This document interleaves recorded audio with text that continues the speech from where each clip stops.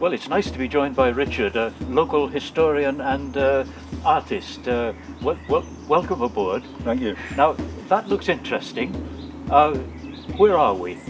Well, we're on what we call the Pilgrim Way, um, uh, running up through Cwmbran. Uh, a pilgrim route running from Llantarnam Abbey to Llandyrfel, and then from Llandyrfel on to Penrhys uh, Shrine, and then on to St David's. Sounds, sounds interesting. And we've got a nice, interesting looking hollow way. And hollow way sort of shouts age at you straight away. And I suppose you could get that from, from where, but you think we might be looking at something else, don't you? You've got some evidence that we might be looking at a made up road. Do you think the monks made it?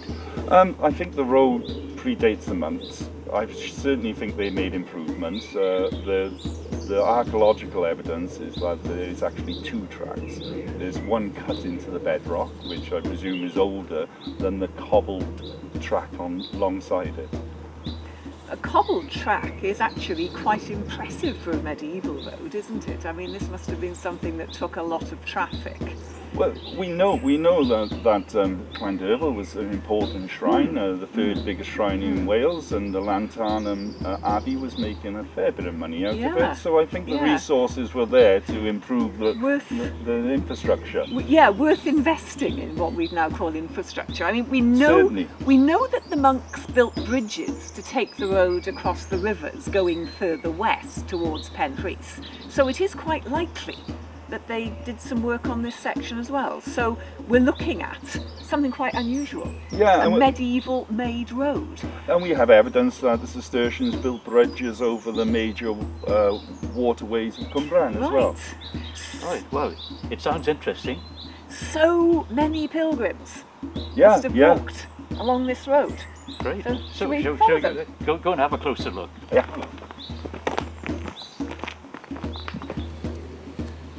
We've got some amazing old walls here, and they're actually on both sides of the track, which is significant because the track must have been quite wide at this point.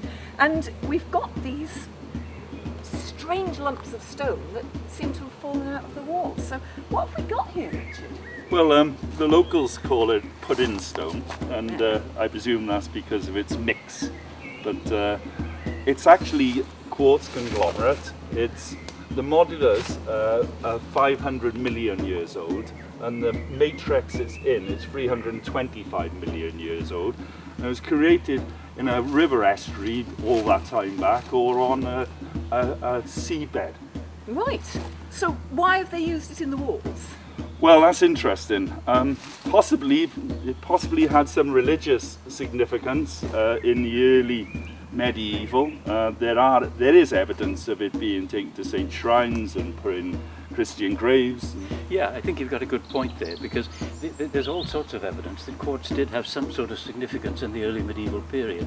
You find it associated with burials, for example. Sometimes in early medieval inhumation, the only thing you find is a single quartz pebble. There are examples at places like Llandoch, for example. So I think you may be onto something with that. Excellent, excellent. Because it's not easy stuff to work, is it? Not and at all. it's in these huge, great lumps, which must have been very, very difficult to move. So they must have chosen it deliberately. Well, it's not easy to work. There's only one thing harder than this white quartz, and that's diamond. so it's not an easy stone to work. And the blocks they're using right across Cwmbran, some of them weigh up to four or five ton. Now, how you could move something like that is beyond me, Yeah, because our JCBs can only pick up a ton. yeah.